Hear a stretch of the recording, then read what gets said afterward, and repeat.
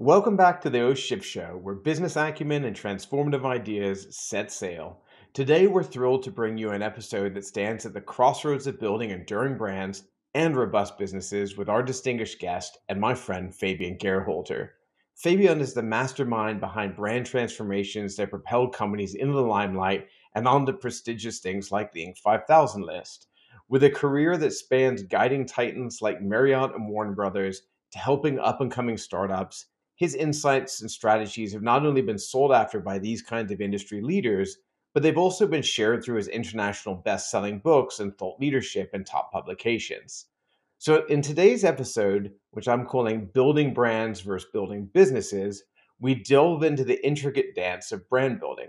But here's the twist Fabian isn't just about transforming existing entities, he's also on the frontier starting his own new ventures and his latest endeavor, ToneOptic, aims to revolutionize the way we store and display vinyl records, combining form, function, and a keen sense of what makes a brand resonate. And as a former DJ in the 90s, I gotta be honest, they're pretty cool. But the reality is, this venture is a live case study in what it takes to build a business and a brand from the ground up in today's dynamic market. So I want you to join us as Fabian shares the lessons he's learned, the pitfalls he's navigated, and the exhilaration of turning a vision into a reality. So whether you're a seasoned entrepreneur or just starting out, this episode is a treasure trove of insights from someone who's living through the successes and setbacks of brand building. So tune in, lean in, and get ready to get inspired. This isn't just a conversation, it's a journey into the heart of what makes businesses flourish and brands thrive. And with that, Let's get started with this week's O Ship.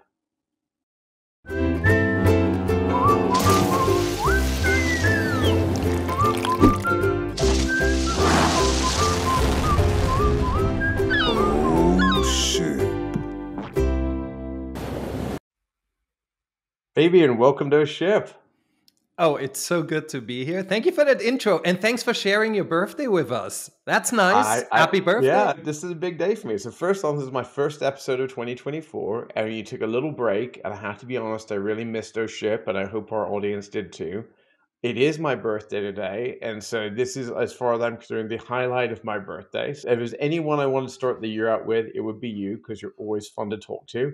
And, I think that we're going to have kind of really interesting subject today. This is something that's near and dear to my heart. I don't think I know many people that are as passionate about brand building as you are. I'm obviously extremely passionate about building businesses.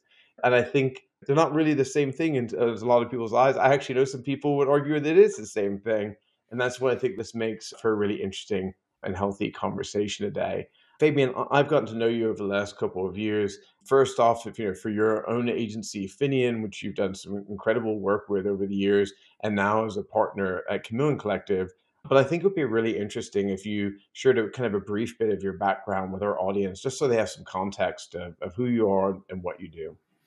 Sure, yeah, absolutely. Me and my accent are both from Austria, from Vienna. And I studied communication design in Switzerland and then in the US, and then got into working with brands like Pfizer, Lilly, Icos, the big corporate pharmaceuticals, and like brand work.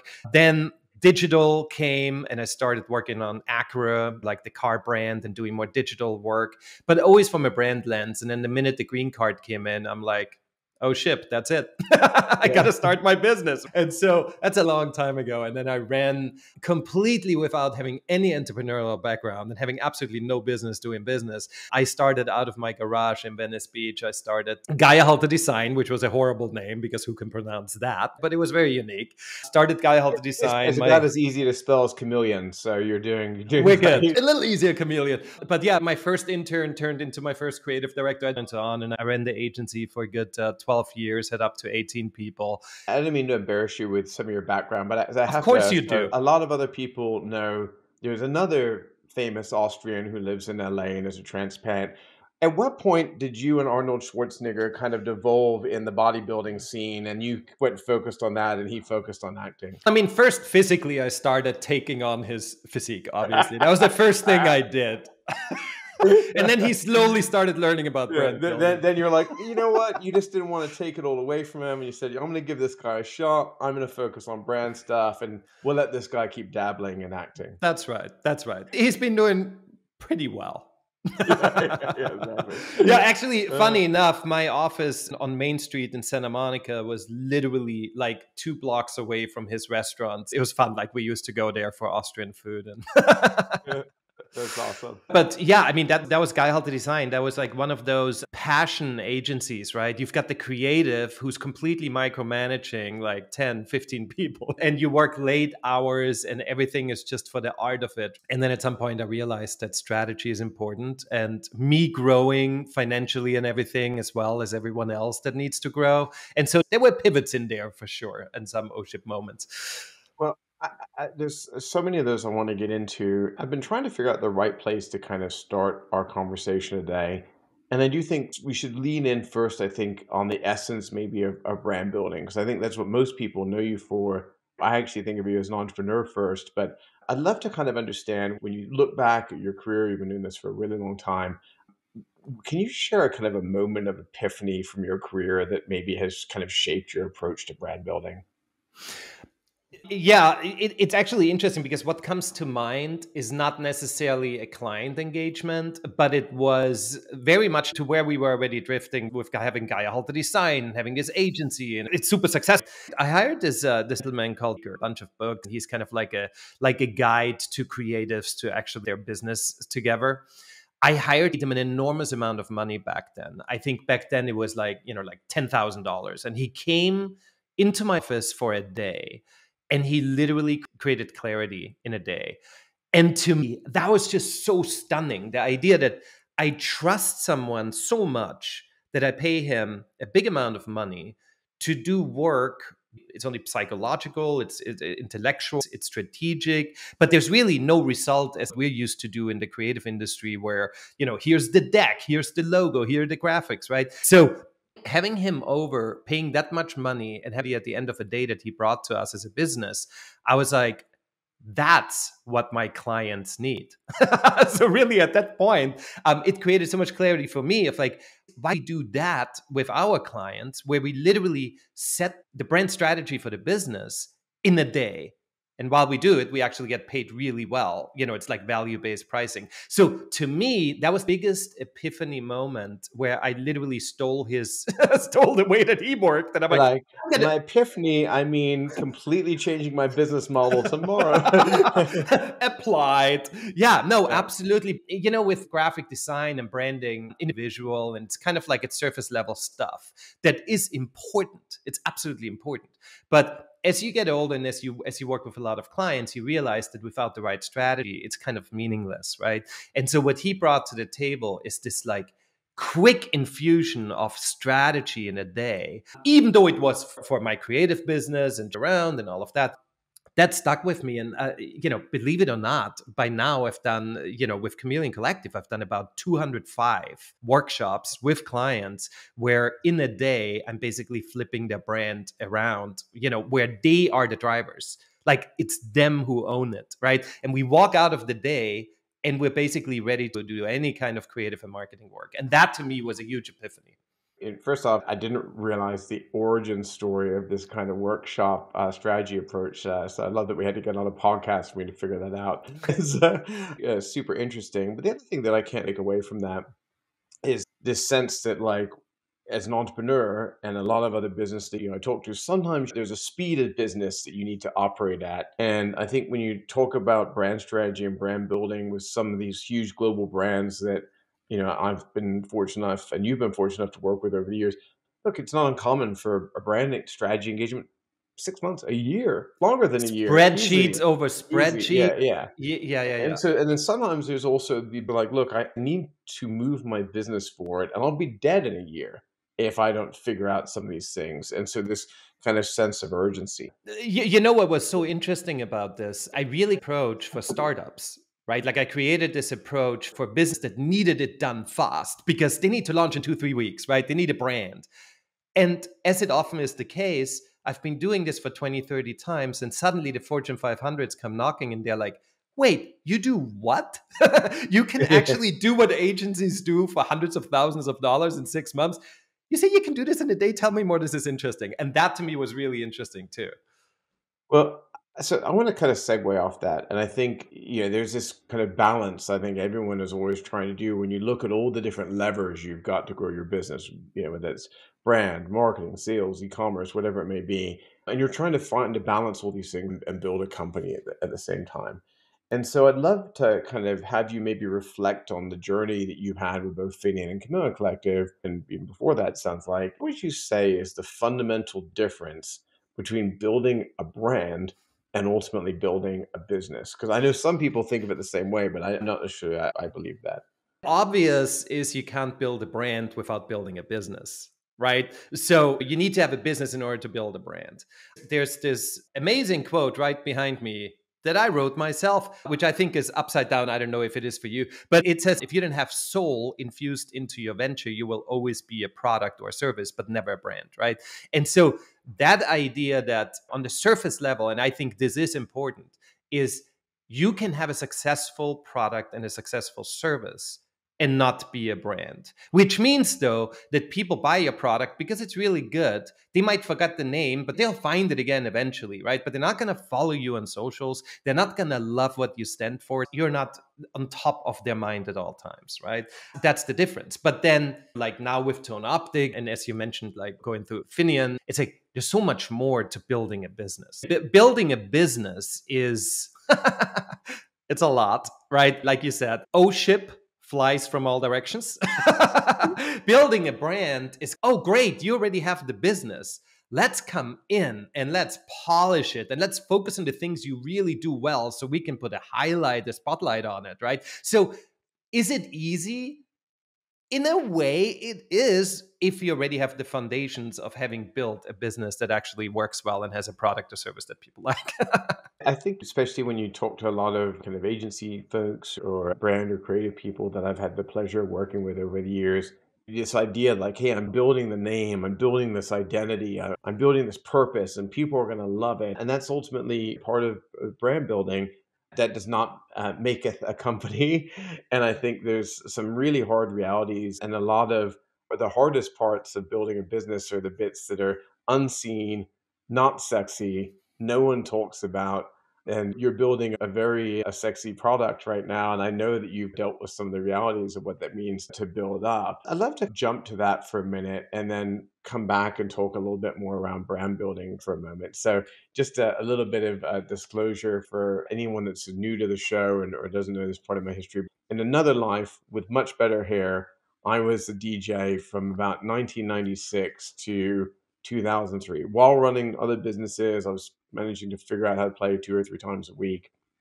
And I loved vinyl records.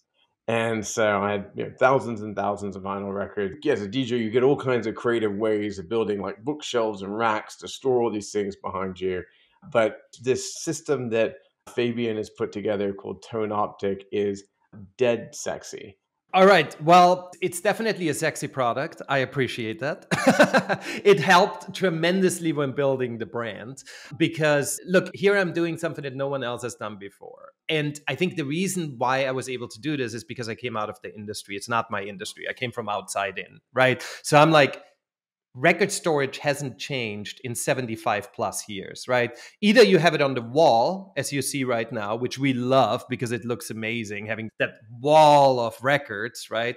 Or you have it in a flip bin, which every significant other will hate because your home looks like a record shop, right? And it doesn't showcase how many records you have. So I'm like, wait a minute, can't I combine the two? right? And it sounds like the simplest idea, right? It's like you just pull it out, it rotates out, you flip through it, and you push it back in. Freddie. Really beautiful, those... man. Something to be oh. proud of. Thank you. But this was a journey of three years and in the six digits of just getting it into production. And that to me is absolutely, completely mind boggling. Right? Have you, because just, you ever made a physical product before you no. went down this path? Oh no, it would have cost me less. Yes, no, I, I have never done it. And when we're talking about failures, right? Every single day, everything, just, right? Just approximately how drunk were you when you decided that building a physical product? Thank you for seeing me like that. First, let's had no alcohol infused in it. This was a pandemic moment. This was like a lonely moment where you suddenly like, I have all these records. I always listen to the same 10 because I can read the spine and they look great for, on the shelf. And what about the other 1,900, right?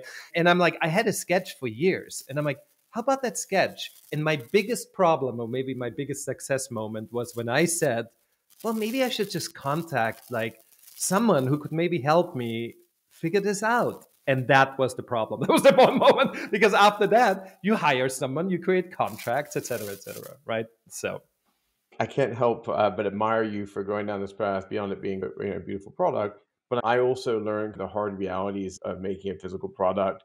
I've gone at it twice now. Once for one that I we failed. Actually, we just couldn't. We after eight nine months of going back and forth, we couldn't get it to where we wanted to, and we just gave up. And it was a product, another product I started with another buddy of ours. And then I have another company that I'm involved with that makes effectively like environmental supplies, basically like commercial sewer caps for RV parks that people have no idea I'm involved in this business of all the random stuff I'm involved now in. they do. Now, now you do. But I was something a business that I wasn't expecting to get into. And, and that's another episode in its own right. But yeah, having to learn about manufacturing after years of doing digital work and it's hard. You've got supply chain issues. You've got a new way of design thinking. You have very big, tangible capital outlays. You can't just work through the night to get things done. You've got to put cold, hard cash down to make these things work. And that's scary. It is scary. And it's the unforeseen too, right? Like, so supply chain issues that they might happen, right? But you don't know when they will happen. That product problems will happen. You don't know when they will happen. Uh, you know, it's like always this surprise. And that's also on the positive side, right? Like last night, I'm like, why do we have four times as much traffic on our site? What's going on? Then I realized someone tweeted the product and it gets shared and shared. And by the end of the day, it had 900,000 views. And here I am going about my day, and I'm like, okay, I'm going to spend the night literally replying to everyone because there was no link and no mention of what that product is to every single one and being friendly and not being so. But it's like that kind of stuff that every day you don't know how the day ends and that's on the one hand for people like you and I and a lot of leaders that are listening. That's super exciting and it's the thrill of everything because you just don't know where it goes. But this can go the other way where we ship our first product and it arrives completely damaged. And little did we know that we forgot that one piece of packaging. And suddenly you're like, right? So it goes both ways. But if you're not into surprise, whew.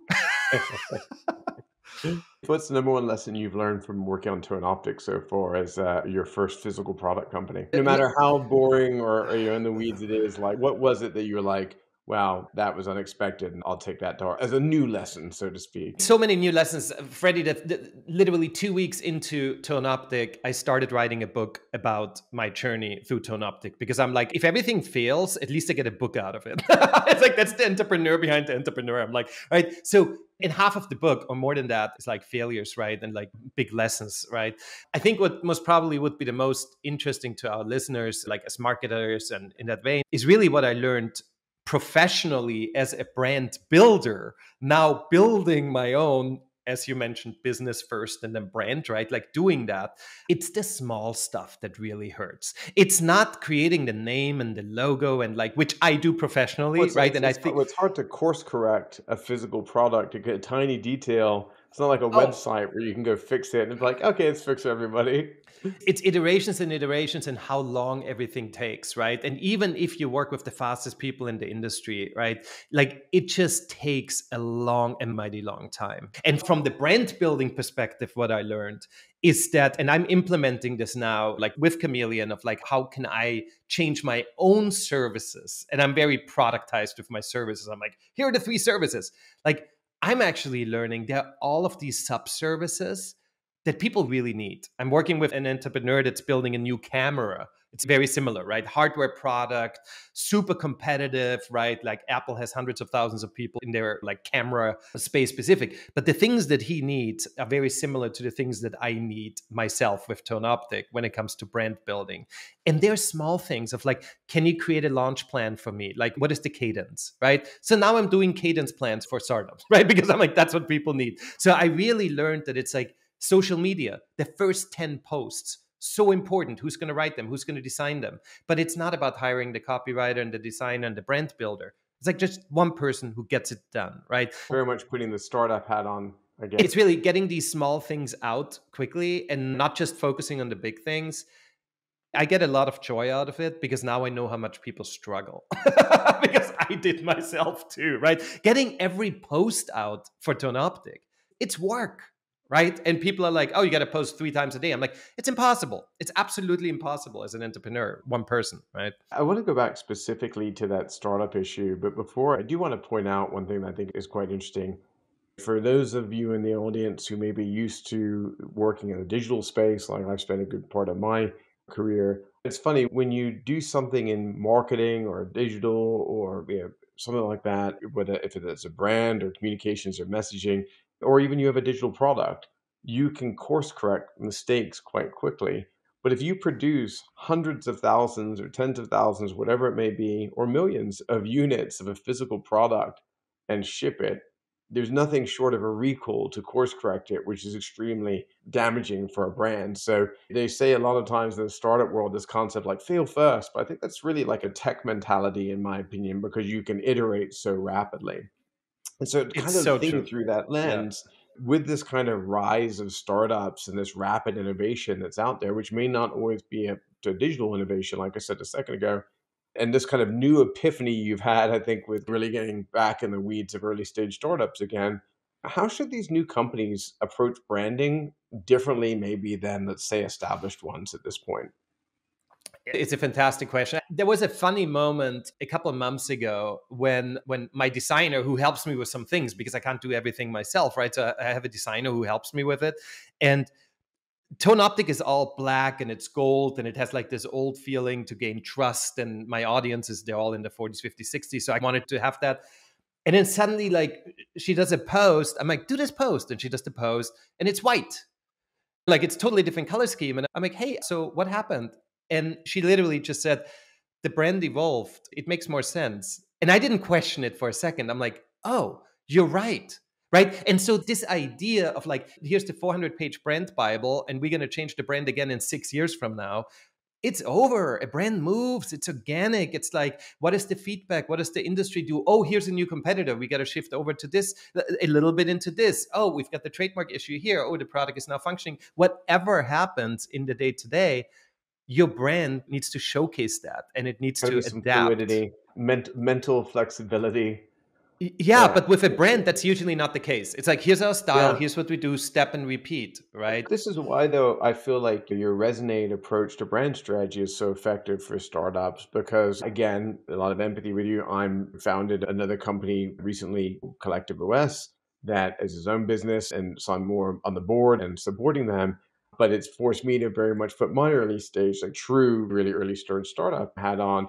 And you're balancing this constant balance between like the needs of moving really quickly and building brands, building a product. And I think the one thing that is unarguable, or whatever you want to call it, in the startup space is it's a perpetual change, perpetual. And if you're not comfortable with that, you're screwed. You know, like, like, exactly, you're gonna, absolutely. You're gonna have a meltdown. Yeah. And especially in product, I think that's the one thing. And I think my wife told me that usually the ones behind us are the smart ones, right? And She said if it wouldn't be that hard, like more people would do it. And that's how you have a bigger chance to actually like make it, right? So many people give up in the product startup game because it is so hard, right? It's in hardware. It's hard, right? But yeah, back to the branding point, I do want to make sure that people understand listening.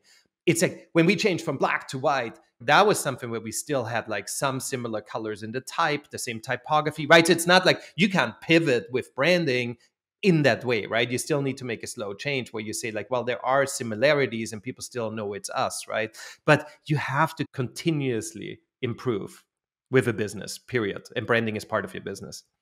Things that I I think you might be able to bring an interesting point of view on that others may not have is you've been doing these Resonate workshops, and I don't think we've said it expressly, but Resonate is this kind of the, the methodology and approach that you've created to doing these rapid strategy workshops.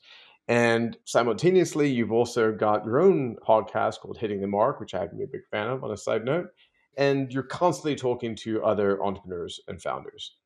And through all, you just like how I think I, you know, I get a certain perspective from all the wonderful people I'm able to talk to through Oship Have you noticed any recurring themes or struggle that you're starting to see consistently between all these founders or maybe the leaders even within these Resonate workshops? with hitting the mark with the podcast, I find it fascinating because I'm basically cheating. I'm learning about what I do professionally from leaders, from entrepreneurs who actually have done it, right? And so, what I see over and over is a theme is that the most successful entrepreneurs are the ones that actually come from the outside into an industry, right? So, you have the guy from Liquid Death right?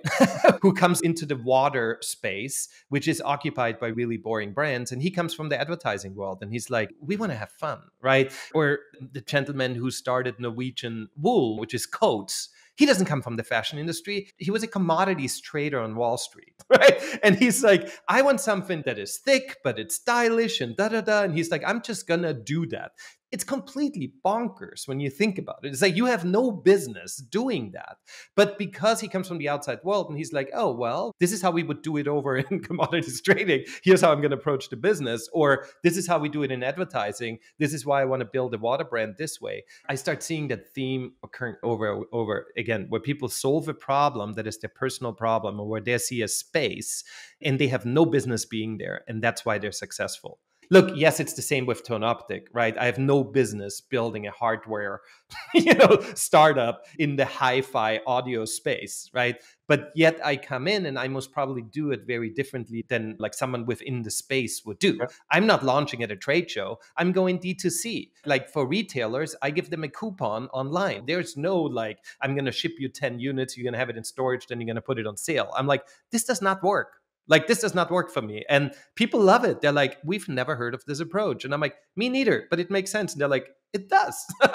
so.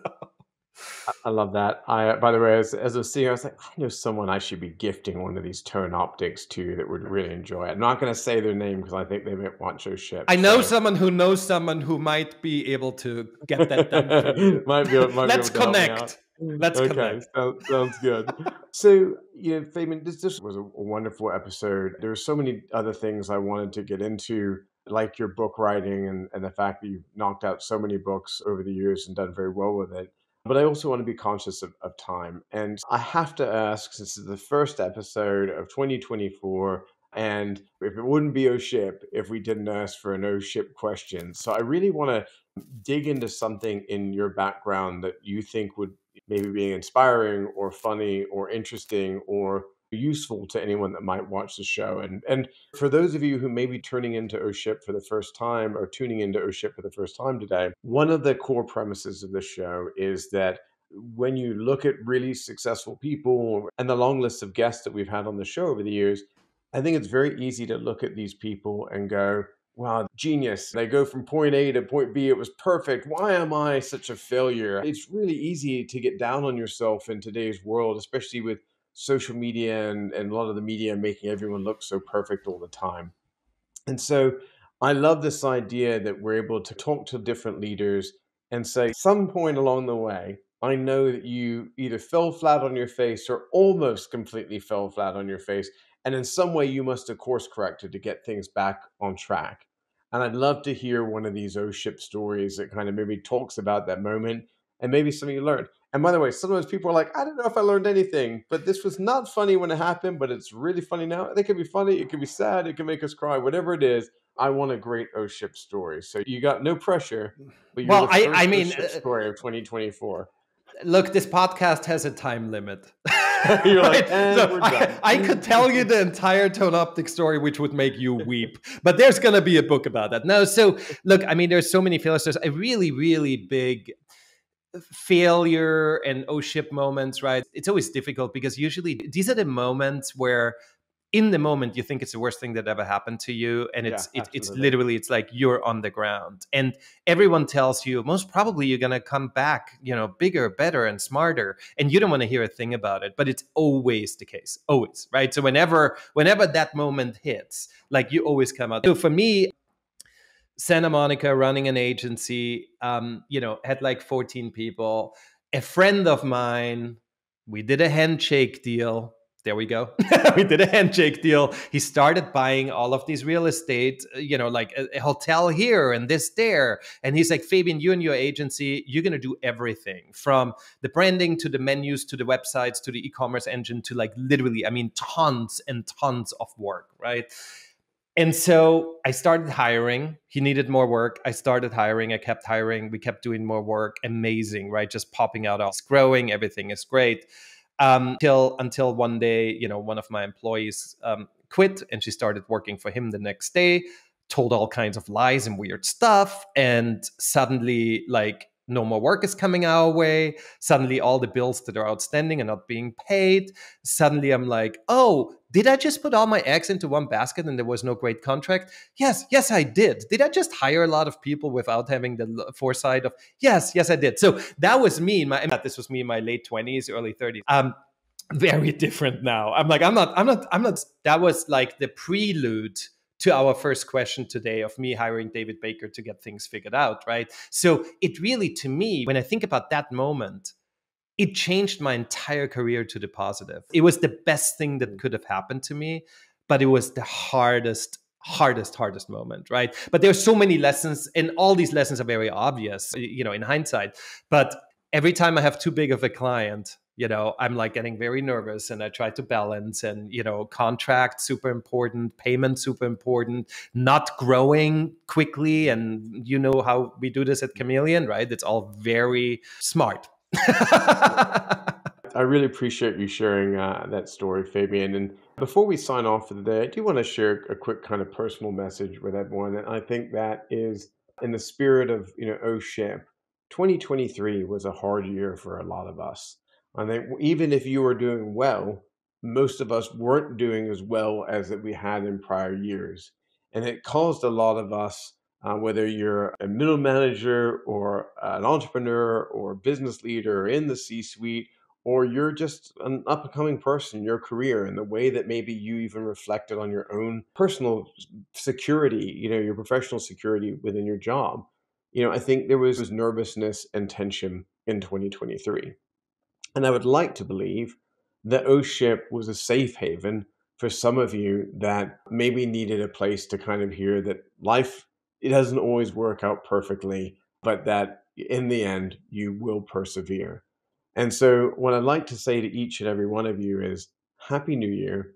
Thank you for all the support that you gave us in 2023.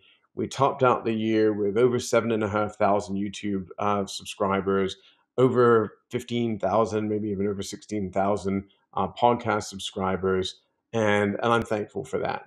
And I'm thankful for you. And I'm thankful for the other people and the guests that have come on and shared their stories, not just because I got to share them with all of you, which is fun for the O Ship Show, but it inspired me and helped me keep my sanity. And so I think that 2024 is going to be an exciting year. It's going to be an exciting year for me personally. My new house will be done that I'm moving into, I've been working into for years. I've got new businesses launching, and I'm very excited about where my main baby, uh, Chameleon Collective, with all my partners there, is going to go. So I'm hopeful and excited for where this year goes, and I hope all of you are too. And with that, I'd like to thank Fabian again for joining us. Fabian, where is the, the best way for people to follow you or, or learn more about you if they want to uh, uh get engaged? Oh yeah, I mean LinkedIn is most probably the best place, um, and uh, you know, hitting the mark, the podcast. Don't want to take away from your podcast, but after oh, ship, you know, you can always go over there if you need more, right? Yeah, but LinkedIn is usually usually the. I mean, it sounds really optimistic. So you know, it's like the more the nihilist type people might be over here in our ship show, you know, hitting the marks, the opt, you know, uber optimists, and if you just need to like mix it up just to get your endorphin levels right, you do a bit of him. It's all about me, balance in 2024. Guys, thank you so much for watching this week's episode. If you want to learn more about us, go to oshipshow.com. Uh, best thing you can do to support this podcast is share, like, tell your friends, give it a comment, put it on your LinkedIn feed. All those things help us continue to bring great content every week. But if nothing else, I'm just glad you're here. Thanks again. Thanks again, Fabian. And we'll see all of you next week on O Ship.